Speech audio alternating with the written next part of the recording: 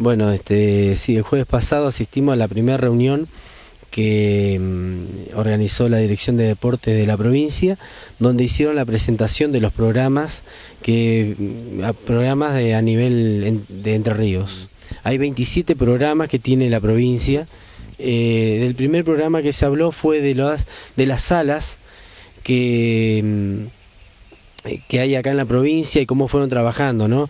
Este, porque todos los deportistas se está exigiendo cada vez más la ficha médica y bueno, eh, hay lugares donde no tienen los recursos para que los deportistas justamente puedan tener un control y, y entonces la provincia está justamente haciendo estas salas eh, justamente para, para prevenir más que este, prevenir algún accidente o fatalidades, ¿no?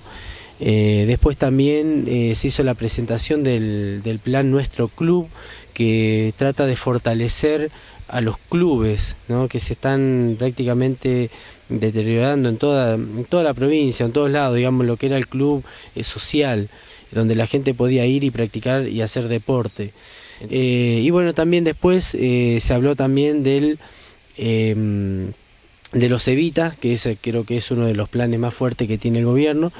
Eh, eh, se presentó y bueno, se hizo sugerencia porque también están aquellos eh, municipios em, que por ahí no cuentan con la cantidad de chicos como para participar y bueno, se, estuvo viendo alternativas para, para poder realizar que estos, que estos Juegos Evita realmente cumplan la, la función que, que, fueron planificados, ¿no? que es incluir a los chicos que no juegan en los clubes, que no están eh, fichados, digamos.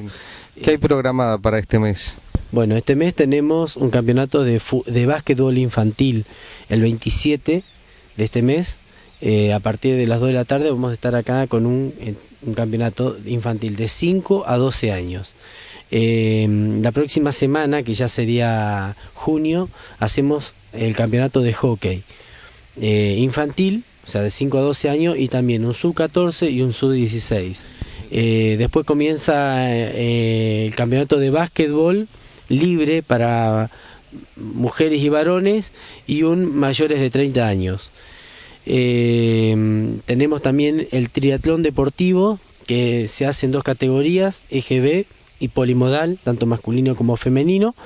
Y el 18 estamos con la maratón de la vida saludable, eh, que este año la estamos haciendo un poquito diferente porque vamos a hacer, eh, estamos invitando atletas de, de nivel provincial y, también este, van a venir atletas de, de renombre de nivel nacional. Este, así que invitamos a, a todos los que quieran participar para el 18 de mayo. Este, a las 10 de la mañana vamos a estar acá para, para la maratón. Bueno, eh, no, solamente invitarlos a, a, los chicos, que a la gente que quiera participar de estos eventos, que pasen acá por el centro recreativo a, a retirar las planillas.